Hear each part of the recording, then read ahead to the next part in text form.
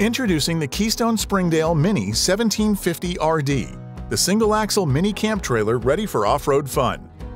The front of the Springdale features an attractive front cap and matte rock guard. You'll also find a pass-through storage compartment for outdoor gear and four-corner stabilizer jacks. The trailer features a 10-foot awning with LED strip lighting and outdoor speakers, along with an entryway with aluminum entry steps next to Dexter E-Z Lube axles and E-coated steel wheels.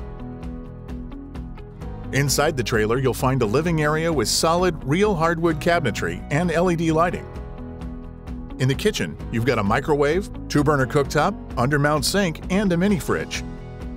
Towards the back is the leather U-shaped dinette next to additional storage and an 8000 BTU air conditioner.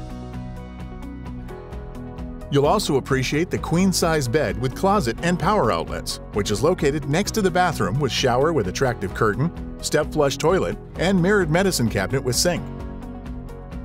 Check out the Keystone Springdale 1750 RD today at Curtis Trailers, where our business has been your vacation since 1948.